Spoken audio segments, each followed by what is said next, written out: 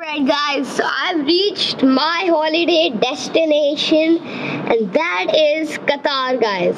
So now I'm I just would like to show you around and please do remember to like and subscribe my video and all and I, obviously I'll be making many more videos on the same subject. So now let's go and uh, you know show you around before these mosquitoes bite me.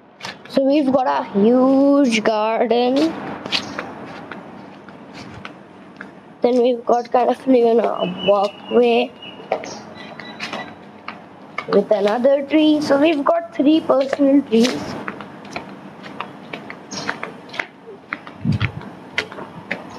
Then we've got uh, this garden side that for some reason is dripping water.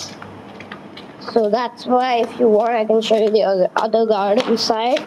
And then I can show you the entry of our house so basically, because it's Qatar, there's zero crime, so you know, no thieves can come house. So that's why they just keep it all open.